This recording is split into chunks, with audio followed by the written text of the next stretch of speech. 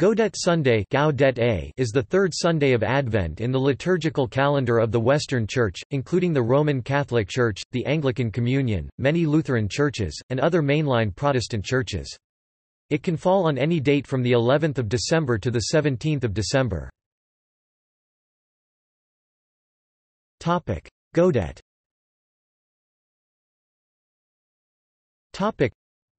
The day takes its common name from the Latin word gaudete rejoice, the first word of the introit of this day's Mass. Gaudete in Domino semper, iterum dico, Gaudete. Modestia vestra nota sit omnibus hominibus, dominus enim prope est.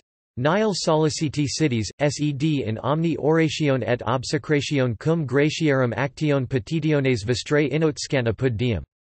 Benedixi domini terram tuum, avertisa captivitatem Jacob. This may be translated as, Rejoice in the Lord always, again I say, rejoice. Let your forbearance be known to all, for the Lord is near at hand, have no anxiety about anything, but in all things, by prayer and supplication, with thanksgiving, let your requests be known to God. Lord, you have blessed your land, you have turned away the captivity of Jacob. Philippians chapter 4 verses 4 to 6, Psalm chapter 85, 84, 1. Topic. Background Topic. The season of Advent originated as a fast of 40 days in preparation for Christmas, commencing on the day after the feast of Saint Martin the 11th of November, whence it was often called Saint Martin's Lent, a name by which it was known as early as the 5th century. In the 9th century, the duration of Advent was reduced to four weeks, and Advent preserved most of the characteristics of a penitential season which made it a kind of counterpart to Lent.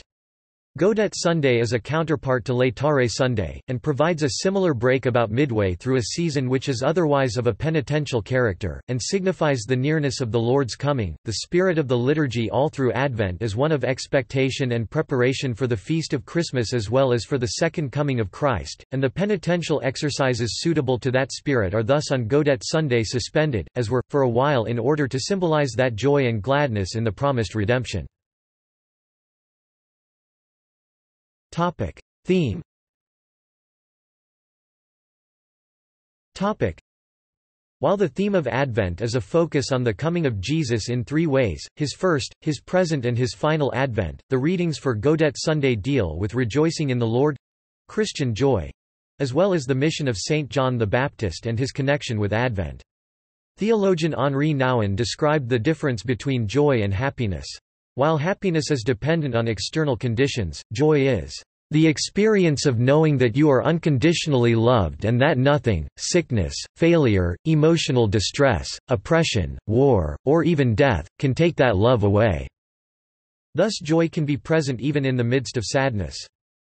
In his 2014 Gaudete Sunday homily, Pope Francis said that Gaudete Sunday is known as the Sunday of Joy, and that instead of fretting about all they still haven't Done to prepare for Christmas, people should think of all the good things life has given you. Topic: Liturgical color.